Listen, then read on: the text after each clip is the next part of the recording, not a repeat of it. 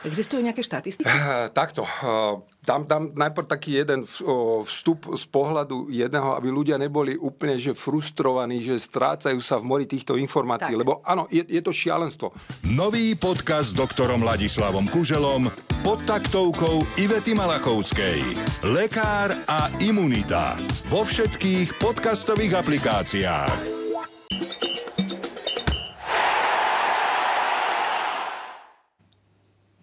Máme za sebou nominačný piatok a finálový víkend.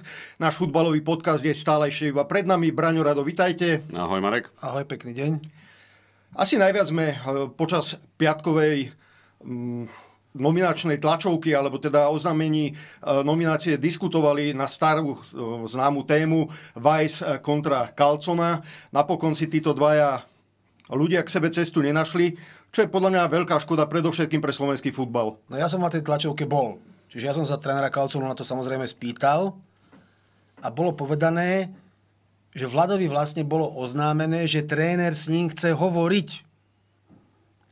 Čiže bolo to oznámené cez vedúceho týmu, bolo to oznámené SMS správou, no a Vlado na tú SMS správu odpovedal teda spôsobom, že on má iba jedného trénera, všetci vieme koho, teda asi svojho otca v Slovane, a teda zaželal, zaželal reprezentácii veľa šťastia. Ale to má asi viacero aspektov, lebo bola najprv nominácia na tréningový kemp, kde tiež nebol ten Vlado.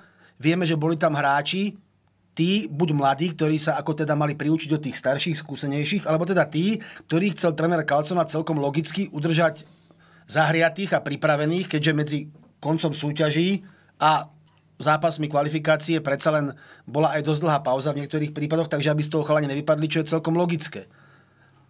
No, Vlado do toho kempu zavolaný nebol, čiže ono sa, keď sa na tým človek zamýšľa, zamyslí z jednej, z druhej, z tretej strany, čiže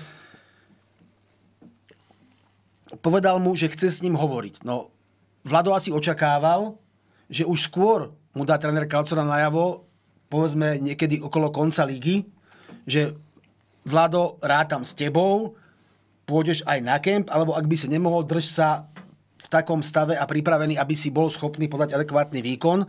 Z tohto sa pravdepodobne nič nestalo. No potom už tá reakcia vláda bola taká, aká bola. Samozrejme, keď sa na to pozrieme možno z pohľadu niekoho, kto by povedal, že nemal sa urážať, nemal mať urazenú ješitnosť sebe, mohol to urobiť inak a tak ďalej a tak ďalej. A mňa skôr ešte udivuje jedna vec, sme sa s Radom že to aj s tebou bavili predtým chvíľočku, že v tej repre sa vrátil Marek Hamšik, ktorý vlastne sprevádza, alebo boli súputníci s Vladom počas všetkých tých úspechov, veľkých turnéov, kvalifikácií. To isté Ďuro Kucka ten s ním dokonca ešte hráva v Slovane. Vernon de Marco treba, ktorý je, to sú Kucka de Marco alebo Vaj sú kapitáni, podľa toho, keď Vlado nehrá, tak a tak ďalej, že, že ani týmto spôsobom sa nenašla cesta, aby treba boli, ako si povedal, mediátormi alebo nejakými nárazníkmi v tom konflikte Carlson a Weiss a že sa to trošku nejako nevyžehlilo a, a neurobil sa ten krok smerom dopredu, ktorý by určite prospel aj reprezentácii, pretože čo si budeme hovoriť, ten Weiss na ihrisku, pokiaľ je v poriadku a vo forme, tak ho potrebuje tá reprezentácia? No, ja k tomu poviem asi toľko, že Manchester City má svoje treble a svoje treble sme si vyrobili aj my v reprezentácii, lebo inak to nejde. A nechápem, prečo proste sa vždy na Slovensku musí niečo pokaziť, keď tu máme mať z niečoho nejakú radosť, nejakého úspechu, z nejakého nastoleného trendu, kam sa tá reprezentácia posúva, ako sa darí klubovým týmom, alebo teda veríme, že sa bude dariť ďalej. Ja by som to zhrnul tak, bolo niekoľko nominácií, kde sa ten Vladovajs neobjavil, už mohol cítiť áno, nejakú urazenosť, kde sme sa bavili o tom, že výkonnostne na to mal. A boli tam, poviem to tak, boli tam určite horší hráči, ako je on, ktorí nehrávajú v kluboch, nehrávali v kluboch v tom čase a napriek tomu sa v tej nominácii objavili. Možno, že už vtedy niečo tam začalo medzi nimi rásť, niečo, niečo, niečo začalo vznikať. No a teraz 20. mája odohral Slovan posledný zápas pod Brezovou a vlastne ubehlo 11 dní, keď sa ozval tou SMS-kou uh, niekto z realizačného týmu repre. Čiže 11 dní, ten hráč si vtedy urobí voľno, uro, proste nepripravuje sa tak. Netvrdím, že, sa nedokáže, že by sa nedokázal dostať do toho herného zápasového rytmu, ale je to problém, keby sa mu to oznámilo dopredu, ako si hovoril, tak je to určite lepšie a prirodzenejšie. A takisto tá cesta formou SMS-ky, že bude s tebou chcieť niekto, tak tiež sa mi nezdá ako, ako dvakrát šťastná. Na druhú stranu, áno, možno, že si mohol povedať, kašlem na to, chcem tu repre. Proste chcem mu dokázať a ukázať, že na to mám a mohol si s ním aspoň teda zavolať a porozprávať sa, aby sa tie veci vysvetlili. Ja si osobne ináč myslím, že... že... osobne by to bolo lepšie. To vždy je lepšie sa baviť z očí do očí, ako s niekým telefonovať si, akože to je bez debaty. Uh, ďalšia vec, ja si myslím, že on ho možno si, alebo skôr s ním počítal na ten prípravný kemp. A čo by sa stalo, keby ho na ten prípravný kemp proste zavolal bez toho, aby si spolu telefonovali? Toto ako, je pointa, že však to, Vlado... Tam nevidím logiku v tom, však keď ide o prípravný... Si tam nominovaný Basta Fidl. Presne tak, a keď sa, keby sa v tom, v tej chvíli, keby sa ako keby urazil, alebo teda, ja neviem, povedal by, že nejdem, tak poviem, dobre, tak áno, mal, dostal si šancu.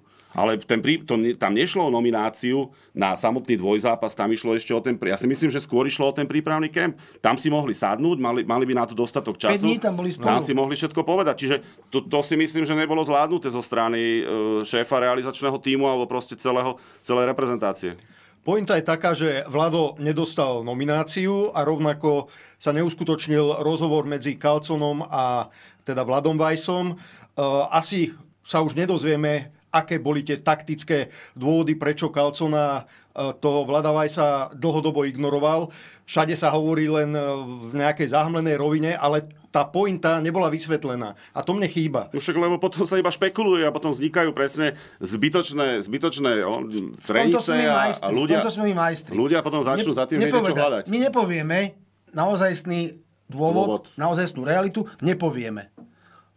Technicko-herné plány, technicko-takticko-herné dôvody. No tak ako nepovieme, že toto, toto, toto, preto, preto, to, preto, to. Samozrejme, pokiaľ boli prípady, keď eh, treba z Benzema nereprezentoval, alebo iné hviezdy Žinola svojho času, ale vždy to bolo vysvetlené prečo. Ale tu ten dôvod prečo nepoznáme. Možno, že tam ten dôvod je. A my ho nevieme. A, a teraz to tak, celé to tak vyzerá a každý si to môže myslieť, že tam naozaj niečo je. Ale však potom si to mali, hovorím, vysvetliť medzi sebou, medzi štyrmi očami a povedať si a mohli dať spoločné vyhlásenie, že nebudú ďalej spolu pokračovať, alebo si to mohli naozaj vysvetliť a mohol byť vaj... Som... Prepre, my máme, prepač, my no. máme príliš málo hráčov na to, aby sme, aby sme na Slovensku, aby sme prišli o takého chalana, ako príliš je málo dobrých hráčov. Príliš málo dobrých hráčov. Neverím tomu, keby Marek Hamšik zdvihol mobil, určite má Vlada Vajsa v telefóne a zavolal by mu, že by mu Vlado nezdvihol a že by nedebatovali. Ako, áno, vieme, čo spravil aj z Hapalovi v Prahe na tom dvojzápase, akože môžu to byť nejaké indície, ale, ale to, to je, treba všetko to je, povedať. To sú už roky. Však hovorím, to treba všetko povedať. Inak udiela sa ešte samozrejme jedna veľká vec, ktorá najprv zatienila celý tento galimatiáš okolo Vajsa. Vrátil sa vlastne, napriek tomu, že v novembri sa s ňou pred zaplneným tehelným polom lúčil, vrátil sa do repre Marek Hamšík, čo je na jednej strane veľká vec, a na druhej strane sme tomu sami ešte pred týždňom, keď sme tu sedeli a debatovali o tom, keď sme už vedeli, že je zavolaný Hej. teda na ten prípravný kemp. Sme sami sme neverili tomu, že bude hrať. No a Marek hneď prvou vetou na tej stredajšej, na tom stredajšom briefingu, kde teda išiel ozrejmiť, za akým cieľom sa vracia medzi reprezentantov, povedal, prišiel som ako hráč. Čiže on prišiel hrať, čo na jednej strane reprezentácii samozrejme pomôže, a na druhej strane je to také, tiež zvláštne, že málo kto tomu veril a stane sa to. Mm. Asi sa mu zapáčili tie rozlúčky najskôr v reprezentácii na telnom poli, následne v Turecku a teraz teda dovrší rozlúčkový hetrik. No, bodaj, by, bodaj by ho dovršil dvomi víťazstvami, tak to by bola paráda. No. Budeme veriť. Samozrejme, čakajú nás veľmi dôležité zápasy na Islande a v Lichtensteinsku. Marek je určite veľkou spruhou ale okrem skúseného Mareka Hamšíka sú v nominácii aj Nováčikovia. Čo si myslíte, ako sa oni môžu zapojiť do, do zápasového nejakého procesu? No to bude ako ťažká otázka teraz. E, možno, že už stále hľadáme útočníka.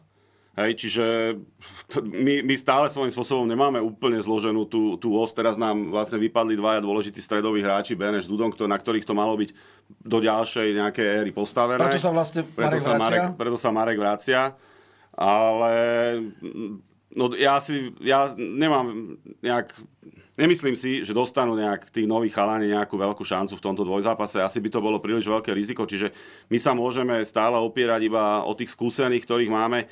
Brankári nám žiaľ nechytajú, ale tak tá spolahlivosť a tá kvalita by tam mala byť. O Hanskovi a ďalších to sa nemusíme baviť, aké sú forme, to naozaj tí hráči sú, sú vy...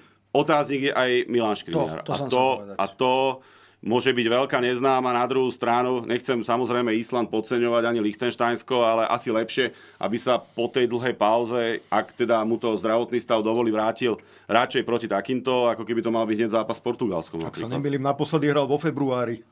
No, ono, však videli sme zábery predfinále, prišiel s výpravou Interu Milano do Istanbulu, bol medzi náhradníkmi, na hracej ploche sa objavil až teda medzi smutnými spoluhráči po prehratom fi- finále tréner Kalcona vravel, že on s Milanom telefonoval ešte v to ráno tej nominačnej tlačovky, čiže v piatok ráno, čiže v podstate deň pred finále Ligy majstrov. Milan mu povedal, že ho ubezpečil, že na tie dva zápasy, že je fit, teda a že na tie dva zápasy bude pripravený. Tak verím tomu, že to tak naozaj bude, lebo my toho Milana Škriniera veľmi potrebujeme. Len áno, samozrejme, zápasová prax je zápasová prax, tak verme, že on je, je taký, taký futbalista, že sa dokáže pripraviť a že bude k dispozícii.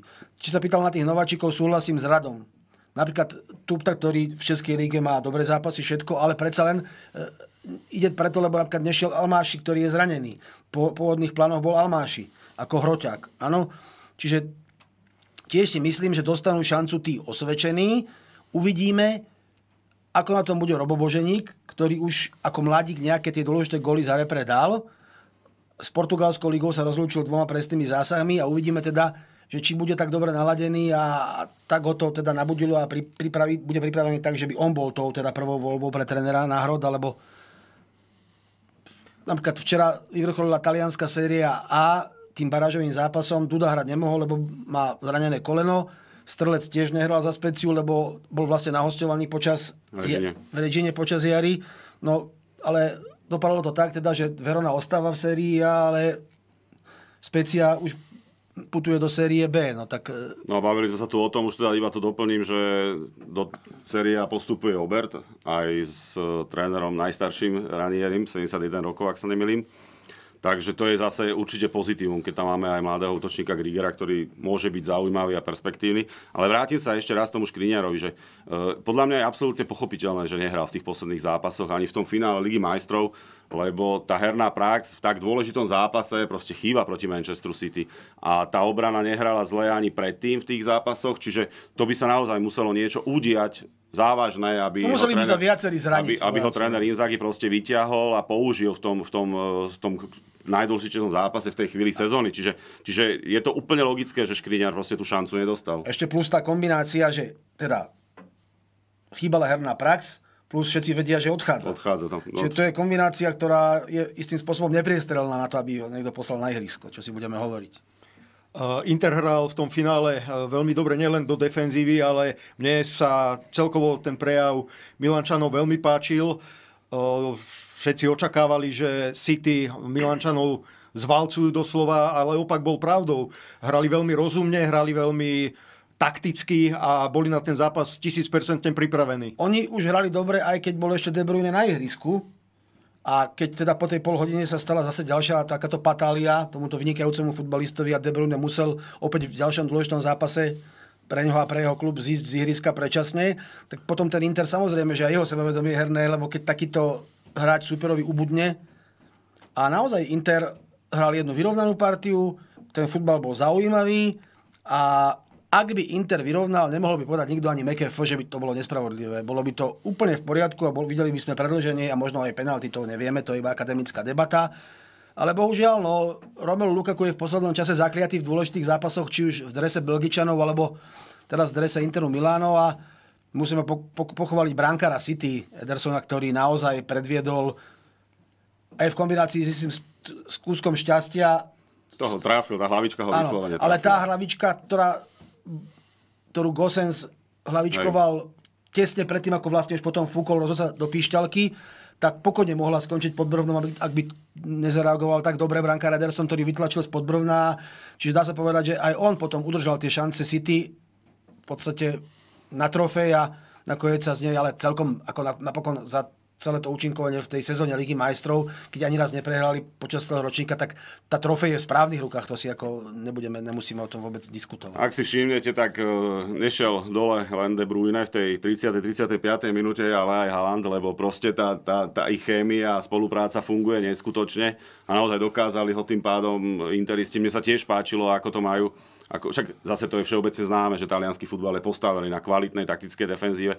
Nie nadarmo to počúvame aj na tých našich tlačovkách, že všetci tí hráči, ktorí z toho Talianska prichádzajú, že to je tam, to je tam hlavná podstata toho, toho futbalu, vlastne príprava po taktickej stránke, čiže, čiže Inter to absolútne a fantasticky zvládol, aj keď si hoci kto myslel, že je slabší super ako napríklad Bayern Mníchov alebo Real Madrid a že Manchester City mu dá vo finále peťku, tak e, to teda nepredpokladal som. To ma veľmi prekvapilo, keby sa niečo také stalo a naozaj až mi bolo ľúto toho Interu a zaslúžil si aj to vyrovnanie a mohlo to byť ešte, ešte potom také krajšie a vyvrcholenie tej ligy majstrov. A, a čo si hovoril o tom, že si to zaslúžili za tú celú sezónu, keď sa spätne na to pozrieš, tak niekedy ešte, keď sa budeme baviť nejaký február alebo proste možno marec, že ak sme sa tu rozprávali, že ten Arsenal už bude mať ten anglický titul, vlastne už tam to vyzeralo, že Manchester City nesplní jeden zo svojich cieľov, nakoniec tá, tá kvalita a tie skúsenosti tých hráčov a hlavne trénera Guardiolu,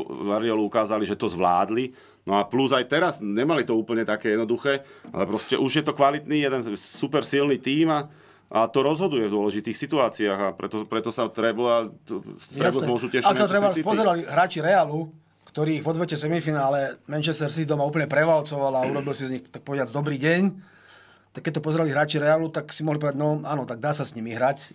Toto, čo sme predviedli my a čo predviedol Inter, my sme teda, lebo naozaj to bolo diametrálne Jasne. Obrovský ale rozdiel. aj v tom čase už Real aj v španielskej lige mal takú Áno, Real bol na tom zle. Ale čo formu, dokázali takže... oba týmy, aj Real, aj Inter, dokázali eliminovať eh, Holanda, najlepšieho strelca Ligy majstrov s 12 zásahmi. Paradoxne sa nepresadil ani v semifinále, ani vo finále, ale vo finále ho nahradil Rodri, ktorý bol vyhlásený za najlepšieho hráča uplynulej, uh, uh, uplynulého ročníka Ligy majstrov. A podľa mňa on tam odvádzal veľmi kvalitnú prácu v strede pola a skutočne nielen De Bruyne, ale uh, rovnako aj Rodri Samozrejme, ten, ten Manchester City je preto taký silný, lebo ten stred pola, tí záložníci, ktorí tam sú, tak to sú, to sú hráči par excellence.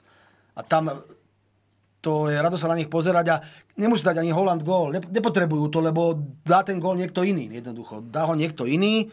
Samozrejme, keď ich dáva on, tak ich zvyknú v tom zápase dať potom viac ale v týchto dôležitých zápasoch zväčša veľa golov nepadá. Oni, a oni na to tam majú viacero ľudí, ktorí sa o to dokážu postarať. Či už perfektnou prihrávkou, ktorá pripraví tú golovú šancu, alebo samotným zakončením. Tam, keď sa pozrieš na tú, na tú ich defenzívu, tých piatich hráčov a ďalších, ktorí sa tam striedajú, Akanji, Diaz, Rodri, Stones, Ake, môže hoci koho použiť, je obdivuhodné, že sú to vynikajúco stávaní hráči, pritom sú neskutočne pohybliví, nohou, nohou, nohou šikovní, jednou, druhou proste vedia vy, vyklúčkovať, vykombinovať aj z ťažkých situácií, plus Branka Ederson, ktorý ide aj niekedy až do rizika s tými prihrávkami. A niekedy to nevíde a potom je zadebila, tak ako sa to, proste sa to, to je normálne, je to futbal, ale, ale je to obdivuhodné, e, akú, aké majú sebavedomie a akú majú kvalitu. A keď sa bavíme o Rodri, Rodri bol najviac vyťažený hráč Guardiolu v tejto, celkovo v tejto sezóne, celkovo to bolo 52 zápasov, v ktorých nastúpil. Čiže to je aj pre Premier League, aj pre Ligu majstrov absolútne dôležitý hráč v Guardiolovom týme. Ty si tu spomínal nejakú kliatbu v súvislosti s Lukakuom, ale tým pádom aj skončila kliatba Manchester City v Lige majstrov. Ak si spomínate, lebo tam, bol, tam to spomínal uh, manažér Jaju Tureho, že vlastne africkí šamani zakliali Guardiolu za to, že ho najprv vyhnal z Barcelony, následne ho vyhnal z Manchester, City. City a takto sa to vlastne s ním ťahalo 7 rokov. 7 na tú, rokov, no. Na tú, na tú trofej čakal. A zjavne tá, asi má už Guardiola lepších afrických šamanov. Kliatbu asi prekonali. V každom prípade Manchester bol počas celej sezóny absolútne dominantným a podľa môjho názoru posledné takéto dominantné mužstvo bola Barcelona v roku 2009 práve pod Guardiolom získala vtedy 6 trofejí, čo je unikum. Každú súťaž, do ktorej sa zapojili, tak každú vyhrali. Čiže Guardiola nám opäť ukázal svoju veľkosť, svoju, svoju fenomenalitu. Skrátka, urobil doslova dynastiu Manchester City. No, je to sila, že on bol aj hráč fantastický, však vieme, pamätáme si. Má 52 rokov, čo na trénera nie je teda... Niektorí začínajú takúto veľkú hmm. trénerskú kariéru v takom veku. No, tak on má tri ušaté poháre za Ligu majstrov a celkovo má 30 veľkých trofejí s tými klubmi, čo trénoval. 30. ako 52-ročný tréner, tam asi netreba k tomu čo dodať. Ja som viackrát spomínal, že mne sa ten jeho futbal nie celkom páči, ale áno, teraz ako, ako sa prezentuje, prezentuje e, Manchester City, musím povedať, že aj túto sezónu, aj už aj s tým Holandom, aj s De Bruynem, aj s ďalšími tými hráčmi, aj s tou defenzívou, ako som povedal, ako má vyskladanú, že je to naozaj oveľa viac pozerateľné. Nie je toto držanie iba lopty niekde a presúvanie hádzanárským spôsobom ale e, zase tí, dajme tomu, neprajníci, alebo môžeme ich nazvať takí tí objektívni odborníci, to budú spochybňovať, lebo vlastne stále pracuje iba s kvalitným tímom, ktorý má kopu peňazí, môže si ukázať na hráča, akého chce, Urobil si Manchester, Manchester City to platí asi 10-násobne alebo 100-násobne, lebo však teda... Tak porovnateľný shake, rozpočet má určite shake. aj Paris Saint-Germain a dlhodobo 0 bodov Chelsea. No len, len eh, spo, spome, ešte, ešte raz pripomeniem, aby sme sa ešte nevracali k tomu, že stále sú obvinení, ak sa nemýlim, z nejakých 115 zhruba prešlapov finančného proste, eh, finančnej, finančnej, finančnej disciplíny. disciplíny Čiže aby, aby, aby sme ešte neriešili o rok, o dva, to by ma najviac mrzelo, že spätne všetky tieto tituly, aby neboli odobraté. Tak to, a, jasné, to je... ale jasné, ale keď sa bavíme o tom, že teda ako to vyzerá na tom ihrisku, jasné, že má materiál fantastický dispozícii, no je jasné, že Guardiolu asi nebude volať trénovať klub, ktorý hráva o záchranu, alebo ktorý má rozpočet malý, lebo jednoducho Guardiola si urobil také meno, že je to proste tréner pre veľkokluby. Tréner pre veľkokluby, ktoré chcú úspech. To nespochybňujem. Jasné. A to, čo bude, či sa také niečo stane, samozrejme, bolo by to smutné, bolo by to ako nepríjemné, ale keby teda naozaj, keď naozaj urobili nejaké prešlapy obrovské, tak e, ten trest pravdepodobne ich neminie, ale keď sa bavíme teraz čisto o tom samotnom futbale na tom trávniku, tak je zrejme, že ten Guardiola to vie. Hovorí sa o treble uh, Manchesteru City, ale Zabúda sa na to, že Inter v tejto sezóne už vyhral super pohár, vyhral talianský pohár a ak by uspel v Lige majstrov, tak takisto by mal tri veľké trofeje. Uh, ja som bol pred zápasom veľmi zvedavý, ako si Inzaghi poradí s otázkou, či k Martinezovi postaví Jacka alebo Lukakua, ako aktuálne alebo v posledných zápasoch mal Lukaku lepšiu formu, napriek tomu dostal dôveru hráč, ktorý hrával v minulosti za Manchester City, 4 sezóny tam odkopal a teda hral tam veľmi dobre podľa mňa dobrá voľba. Tak ale hovorilo sa, že Lukaku v tejto sezóne nemal takú formu, aká sa určite od neho predpokladala. A bol aj zranený, bez, bez debaty, ale na, na, jeho, na, na kus takéhoto strelca málo gólov a málo, málo proste produktivity. Čiže, čiže áno, teraz sa mu darilo, možno, že chcel tréner prekvapiť, ale Žeko nesklamal, keď nastúpil v tých zápasoch. Takže niekedy je to ten, ten pocit, aký, aký máš a pekne ho vystriedal, Lukaku sa do tých šancí dostal Žiaľ, nevyužili ich, nepremenili ich, no a bude sa to s ním opäť ťahať, bude to musieť počúvať. Keby dal gol, tak by to trénerovi vyšlo úplne perfektne. Džeko si odmakal svoje, prišiel čerstvý tank Lukaku, dal by gol, lebo to bola, to bola parketa na gol. Určite áno, no. Hoci kam vedľa brankára, keby to umiestnil, ani nemusel skákať. On bol sám, no bohužiaľ trafil, ho, trafil do stredu a tým pádom to, to dopadlo, ako to dopadlo. Pri striedaní De Bruyneho som si spomenul na Kristiana e, Ronalda, ktorý v 2016 vo finále Eura musel už v 25. minúte striedať a kamery si ho často vtedy vyberali, ako prežíval, dokonca kaučoval doslova e, svojich spoluhráčov. Tí napokon vyhrali 1-0, myslím, že Eder dal v 109. Gol, um, minúte gol v predlžení Francúzom. A teraz to bolo veľmi podobné. De Bruyne síce nekaučoval, ale vždy, keď si ho tá kamera vybrala, tak bolo vidno to napätie a uh, tú súdržnosť s tými chalami, ktorí boli na ihrisku, vystredalo Foden. Nebol to taký výkon, aký podával De Bruyne, ale myslím si, že tiež zapadol do toho súkolia celkom no, dobre. Mohol dať gól na 2-0 a bol vymalovaný. Tam sa krásne si prebral loptu. Nádherne si prebral do, prvým dotykom do pohybu vošiel do 16 chýbala tomu iba lepšia strela, lebo tá strela mu nevyšla jednoducho. No musí to byť neskutočne ťažký pocit sedieť na lavičke a, a už zranený teda sledovať sledovať spoluhráčov pri vrchole sezóny, ktorý chceš proste zažiť na vlastnej koži, ale tak De Bruyne si ešte takýto zápas, ja si myslím, že ešte užije.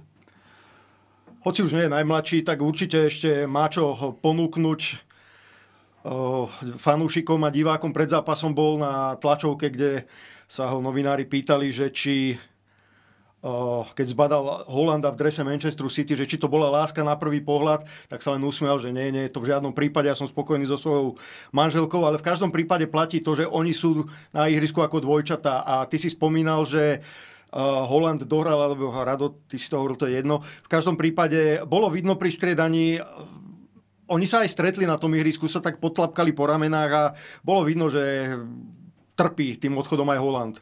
Tak trpel, trpel, ale vyhrali, takže už... Chémia, chémia tam medzi nimi funguje, to vidíš v tých nábehoch. Proste Holland vie, kam De Bruyne tú loptu vie poslať a ja stále veľakrát hovorím, že tí útočníci niekedy čakajú, až na ten moment, kedy tá lopta vlastne ide, ale Holand nie. Holand inštiktívne tam ide skôr a čaká, či teda riskne to a veľakrát mu to vyjde, ale proste on vie, že De Bruyne má tú schopnosť e, v nohe tú loptu zakrútiť a poslať milimetrovo tam, kde, kde ju Holand potrebuje, aby, aby sa k nej nedostal ešte ani brankár, ani, ani zadný stopery. To, to proste platí a funguje.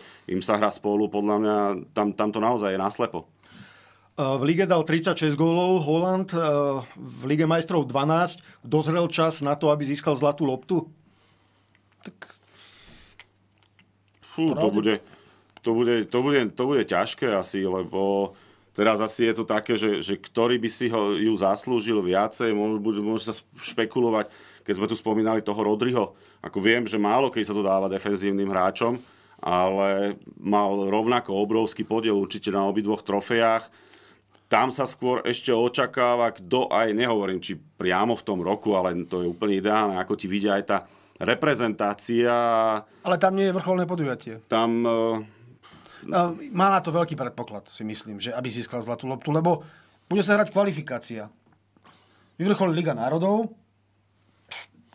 teraz, a máme tu kvalifikáciu, ktorá sa odohrá teraz a potom na jeseň sa dohrá, ale nemá žiadne veľké podujatie tento rok futbalové už Čiže je dosť veľký predpoklad, lebo ja si myslím, že aj keď začne ďalší ročník Premier League, on tie goly dávať bude.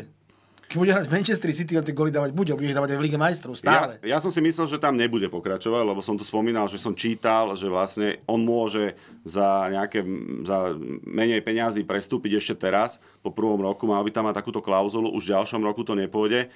A myslel som si, že keďže na začiatku sme sa rozprávali, že tá chémia úplne medzi ním a Guardiolom nefungovala, že Guardiola to proste chcel hrať stále viac technicky a nie na toho hroťaka. No ale myslím, že tých jeho 36 a 12 golov, ako si spomínal, ho presvedčilo a bude to asi ďalej takto fungovať a pokračovať. Neviem. Ale ešte by som povedal k tej, tej, tej lopte pre najlepšieho futbalistu. Už mali, aj Benzema mal také sezóny, aj Levandovský mal také sezóny, keď sa očakávalo, že nastrieľali veľa golov, že tú loptu získajú a nedostali ju. Čiže vravím, tam sa toho musí stretnúť viacej. No, no len Ronaldo už máš na tom On... konci sveta, Messi bude na tom konci sveta. Benzema takisto. Benzema už je tiež tam, kde je Ronaldo. a no, ťažko. Tak môžeme sa baviť o Mbappé a, a vieš, jasné, stále tu máme vynikajúcich hráčov. Jasné, jasné, Vinicius. Ale má, myslím si, že, že má dobre zamiesené. Ako Holand. Ako určite Získal... Ten by ste bol zamiesil. No, so všetkými tromi. Spomenuli sme Benzemu, prestúpil do Al Ittihadu s tým, že očakáva nové výzvy, má nové výzvy. Tam bolo zaujímavé, že na jeho uvítanie boli vypredané lístky prakticky okamžite a vítalo ho tam 60 tisíc fanúšikov, obrovská sláva, ohňostroje. Pomôže to k spropagovaniu eh, Saudsko-Arabskej ligy? Pomôže to Benzemovému kontu v prvom rade, tak to pomohlo Ronaldovému, ale sú to v podstate sú to hráči geniálni, ktorí tvorili posledné dekády futbalu v Európe a vo svete, ale už sú to veteráni. Tak samozrejme, že ten Benzema tam niečo ukáže, však on niečo vie. Ale tiež to bude podľa mňa pre neho prekvapko istým spôsobom, ako to bolo pre Ronalda. Tak si zober, že hrávaš za Real Madrid s takými futbalistami a spoluhráčmi a teraz prídeš do Saudskej Arábie a tam môžeš hrať s takými spoluhráčmi. No tak ja sa, že to bude rozdiel. Tieto pokusy tu už boli, to bola Ruská liga, to bolo Machačkala, Zenit Petrohrad, to bola, ktoré nakupovali obrovské najväčšie hviezdy na tú dobu Čína, tam sa nebavíme. Tam ale kopa tých majiteľov a, a funkcionárov skončila v base potom, čo sa, tam, čo sa tam proste rozhadzovali a strácali peniaze. Takže teraz následne to bol Katar, ale vieme tiež bez záujmu Saudská Arábia, tam, tam ten záujem celkom je, ale Vieš, na to, aby si strelil niekoľko gólov, potrebuješ, aby ti aj tú loptu niekto prihral. Mm.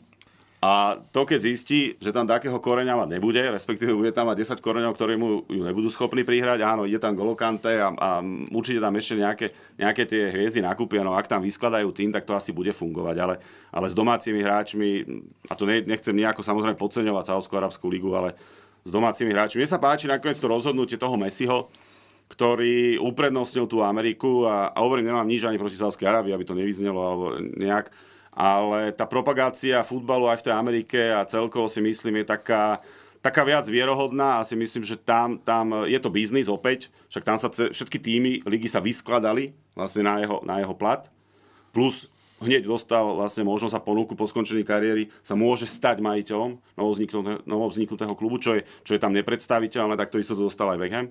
Čiže tam, tam, tam mi to skôr príde ako taká myšlienka propagácie a posúvania futbalu ďalej, ale tu je to rozhadzovanie peňazí z môjho pohľadu, ale dobre, však keď sa chcú zabávať, keď im nestačia kone a orly a ťavy, tak budú mať futbal. No hlavne tí hráči to boli naozaj, to bol top level, ktorý oni hrali tu. Top level, to už vyšší level neexistuje. A teraz prídu do ligy, ktoré horšie ako Slovenska. No.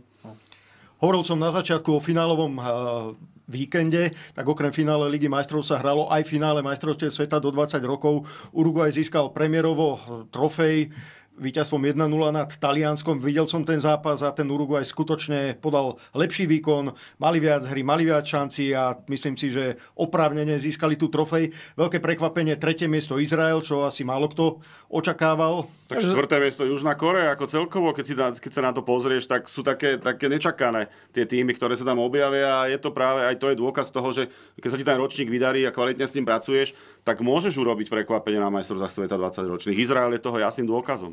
Ja som pozeral to finále celé. Uruguay to zaslúžil, absolútne. Mňa len mrzia tie ich, to, ale tak, to je klasika, vyhrávali, tak to bolo potom plné tých hereckých vložiek a všetkého možného filmovania a tak ďalej a tak ďalej. Ale boli jasne lepší od tých Talianov, čo ma prekvapilo.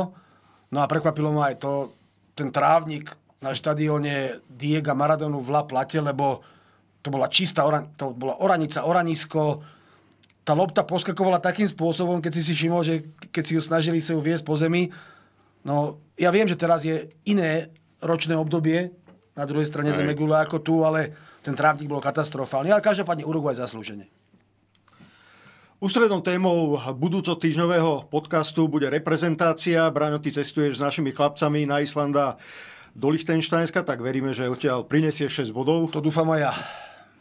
No a tešíme sa samozrejme o týždeň pri ďalšom futbalovom podcaste. Ďakujem za pozornosť. Budeme, Pekný deň. Budeme držať palce aj Braňovi, aj chlapcom. Ďakujeme pekne. Držte sa. Pekný deň. Dovidenia.